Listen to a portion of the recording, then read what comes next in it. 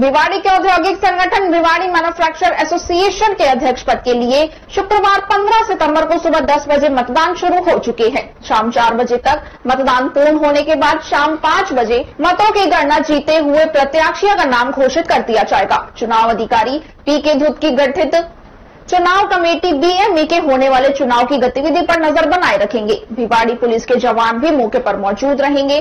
पूर्व बीएमए सचिव डीवीएस राघव का खेमा बहुत माकूल चुनाव की तैयारी कर रहा है। डीवीएस राघव के समर्थन में वोट डालने की अपील उद्योगपति मोबाइल में डोर टू डोर जाकर वोटरों को लुभा चुके हैं और डीवीएस राघव के समर्थन में वोट डालने के लिए भी कह रहे हैं। डीवीएस राघव को उनके समर्थक बीएमए के अध्यक्ष पद की चेयर पर बैठाकर बीएमए को एक सही दिशा में लेकर जाना चाहते हैं। डीवीएस राघव ने अपने सचिव कार्यकाल के दौरान 2017 से लेकर 2019 तक के कार्यकाल में बड़े बड़े काम करवाए हैं, जिसमें डीवीएस राघव ने औद्योगिकों के हित में कई ऐसे बड़े काम करवाए जो एक मिसाल है। औद्योगिक इलाके की समस्याओं का निराकरण करवाने के लिए अधिकारियों से उनका तालमेल अच्छा रहा। भिवाड़ी में ग्रैप लागू होने के दौरान प्रदूषण की समस्या गंभीर होने पर उद्योगों पर आए संकट से उभारने में डीवीएस राघव ने सीपीसीबी व आरपीसीबी के अधिकारियों एवं सुप्रीम कोर्ट के निर्देश पर गठित कमेटी के इफ्का के चेयरमैन, रिटायर्ड आईएएस भूरे लाल व सुनीता नारायण के सामने मजबूती अपना पक्ष रखकर भिवाड़ी की कंपनियों को मजबूती दी थी।